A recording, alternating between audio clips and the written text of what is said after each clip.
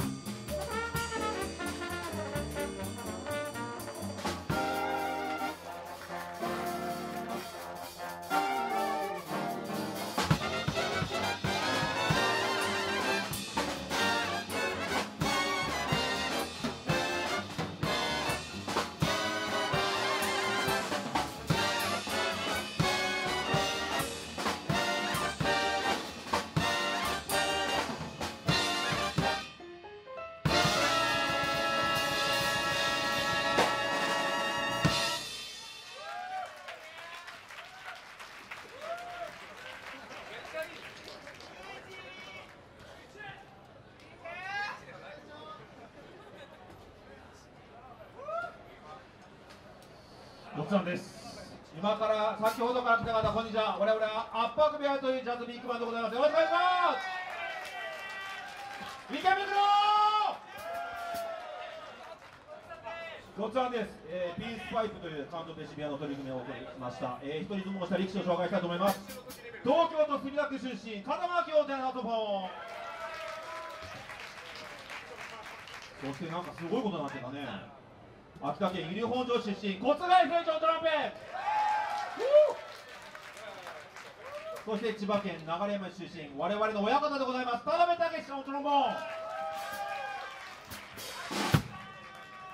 さあ続きましてお届けする取り組みは今日はですね